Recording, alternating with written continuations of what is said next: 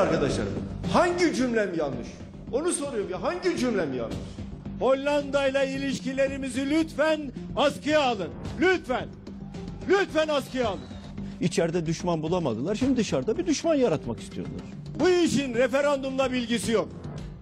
Bu işin evet hayırla bilgisi yok.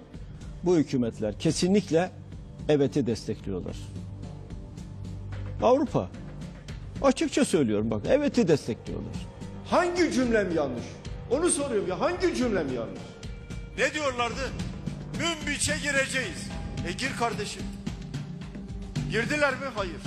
Rakka'ya gideceğiz. E git kardeşim. Elinden tutan mı var? Gittiler mi? Yok gitmediler. 50 sefer söyledik. Ya şu Suriye'nin içine karışmayın kardeşim. Suriye'ye müdahale etmeyin kardeşim. Düşünün yeni modeli kurduk. Halk seçti Cumhurbaşkanı, Başbakan da başkası oldu. Cumhurbaşkanı başka bir partinin genel başkanı, Başbakan da başka bir partinin genel başkanı. Asıl kavga o zaman çıkacak. Asıl onu düşünmeniz lazım. Cumhurbaşkanı tarafsız olursa Başbakan onun tarafsızlığına saygı göstererek onun uyarılarını dikkate alır. Ama Cumhurbaşkanı taraf olursa Başbakan da başka bir partinin genel başkanı, Cumhurbaşkanı başka bir partinin genel başkanı. Asıl kavga o zaman çıkacak. Niye bunu söylemiyorlar millete? Neden bu anlatılmıyor millete? Hangi cümlem yanlış? Onu soruyorum ya hangi cümlem yanlış? 18 yaşında çocuk ne olacak? Milletvekili olacak. Sonra ömür boyu askerlikten muaf olacak. Sonra efendim işte iki yıl milletvekilliği yaparsa milletvekili emeklilik haklarından yararlanmış olacak. Bir kişi istediği kadar başkan yardımcısı tayin edecek. İstediği kadar. İster 50, ister 500. Gideceğiz oy kullanacağız. Bir tarafında evet var bir tarafında hayır var. Tercihimizi ona göre kullanacağız. Evet oyu kullanan da bizim vatandaşımız, hayır oyu kullanan da bizim vatandaşımız. Eğer Türkiye Büyük Millet Meclisi'nde bu anayasaya evet oyu kullananlar varsa onlar Türkiye Cumhuriyeti'ne ve tarihine ihanet ediyorlar. Nokta.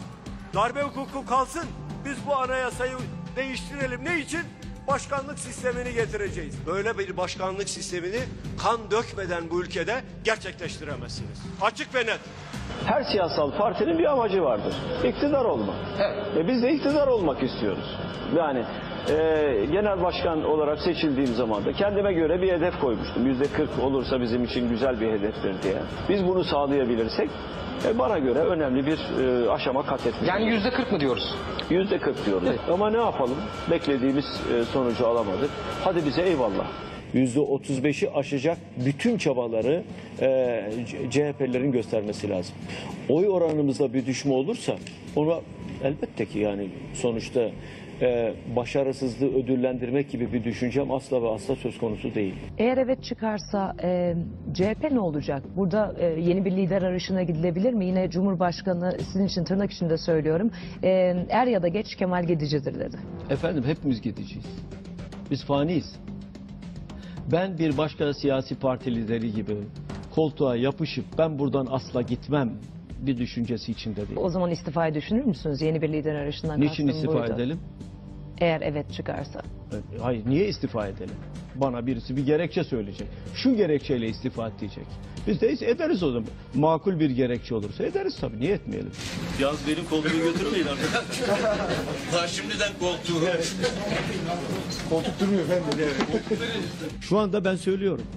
Kim darbeye girişimde bulunacaksa, birisi girişimde bulunacaksa o tankın önüne önce ben çıkacağım diyorum. Her darbe girişimi karşısında toplumun ortak tepki vermesi gerekiyor.